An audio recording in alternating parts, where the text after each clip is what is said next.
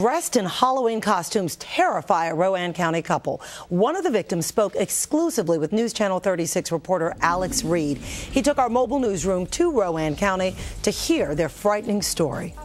If you don't open that safe, I'm going to blow your damn head off. Sherry Deadman told me quite a story. She says she woke up from a nap to find a 12 gauge shotgun pointed at her face. He pumped his gun. He says, I'm not picking you. He wanted uh, money. He grabbed me by my arm and he dragged me to the safe. As a guy and a girl ransacked the home for anything valuable, Sherry saw a chance to run out the back door. He hit me on the on this side of the jaw. But when she made it outside, she was hit by a third suspect who had been holding her husband at gunpoint on the back lawn. It, it was swollen for a while.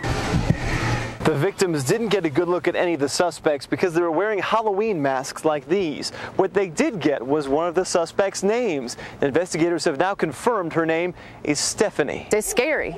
It's scary to us. Police and neighbors tell me nothing like this has ever happened here. That's cold. That's that's, that's cold-hearted and cruel.